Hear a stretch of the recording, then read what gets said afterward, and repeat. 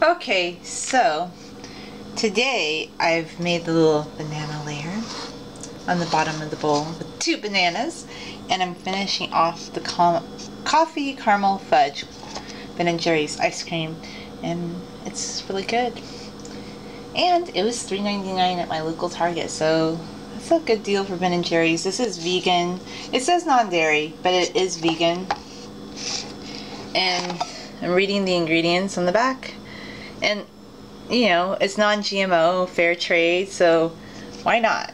I think it's pretty good as a treat not every day but I'm gonna finish off these three containers I have.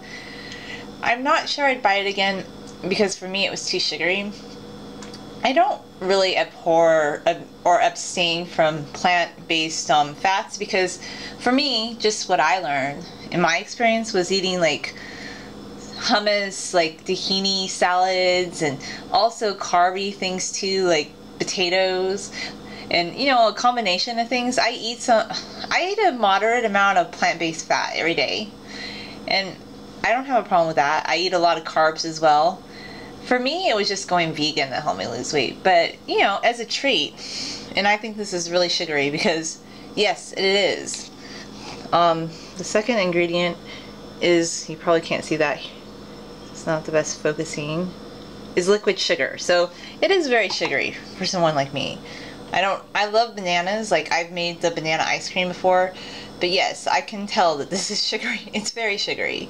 Um, there is a So Delicious soy ice cream not a soy one. I think it might have been an almond milk one.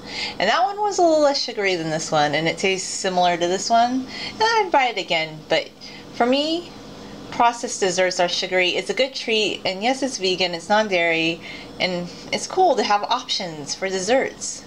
And, you know, it's a good thing. Thanks for